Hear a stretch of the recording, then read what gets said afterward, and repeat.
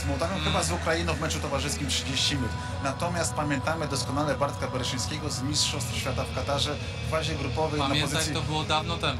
dawno temu, natomiast y, jego główne zadania. Myślę, że Bartkowi przypisujemy tą najważniejszą cechę. Obrońca jest od powstrzymywania ataków przeciwnika i ochrony pola karnego. W tym elemencie, w całym zestawieniu polskich obrońców w fazie grupowej y, Mistrza Świata Bartek był wyróżniający. Przez wielu nas uznawany jako takie objawienie, prawda? Kandydat może duże słowo do y, jedenastki fazy grupowej Mistrzostw Świata, natomiast w mojej ocenie nie można mu było przypisać żadnego złego zachowania